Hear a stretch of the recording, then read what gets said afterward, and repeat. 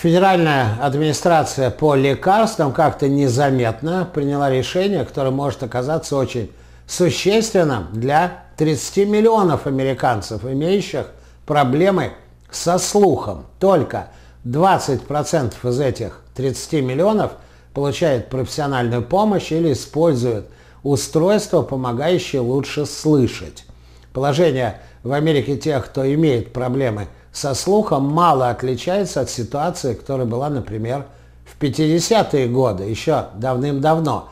Тогдашние производители слуховых аппаратов при содействии союзных с ними медиков добились фактически права на монополию. С тех пор в Америке разрешается продавать слуховые аппараты только по рецептам врачей, а список утвержденных врачами производителей является крайне узким. Конкуренции между производителями слуховых аппаратов практически нет, а врачи получают деньги за визиты больных с просьбами выписать им такие аппараты, даже когда, собственно, в помощи врача необходимости нет.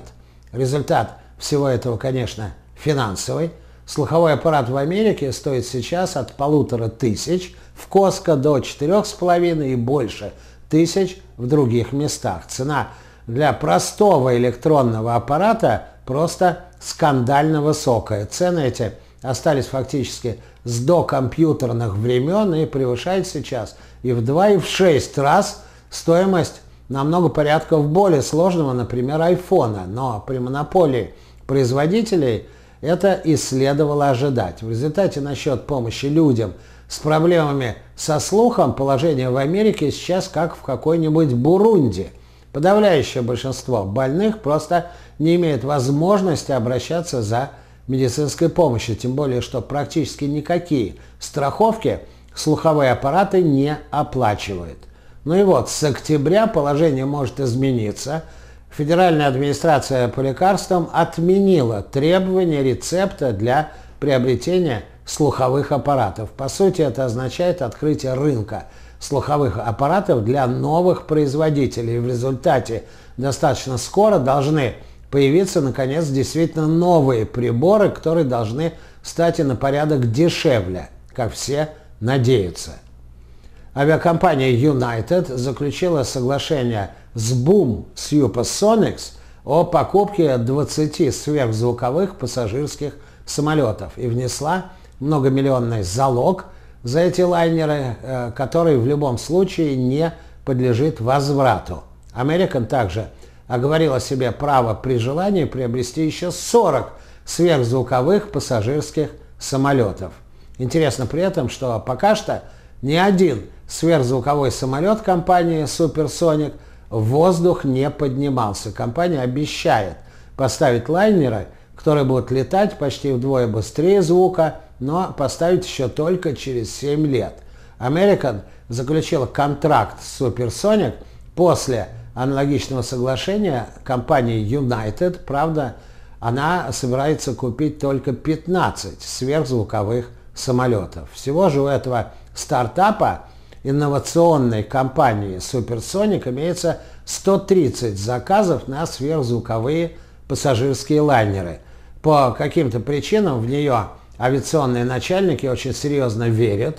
По сравнению с заказами на 130 самолетов, а сверхзвуковых лайнеров Concorde, например, было всего 14. Concorde был а, первопроходцем в области сверхзвуковых пассажирских перелетов, ну а новый лайнер должен быть сверхкомфортабельным, рассчитанным на 65-80 пассажиров, и билеты на него должны продаваться по ценам сравнимым с обычным бизнес-классом.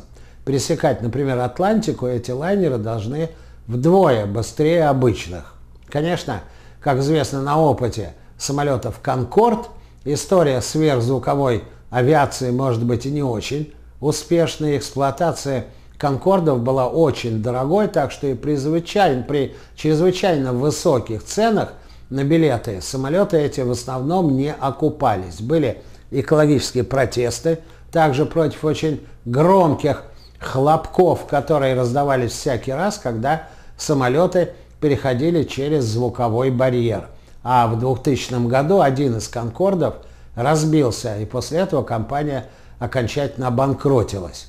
У нового поколения сверхзвуковых пассажирских самолетов проблема хлопков, конечно, останется, но переходить звуковой барьер можно, наверное, уже находясь достаточно далеко над морским пространством.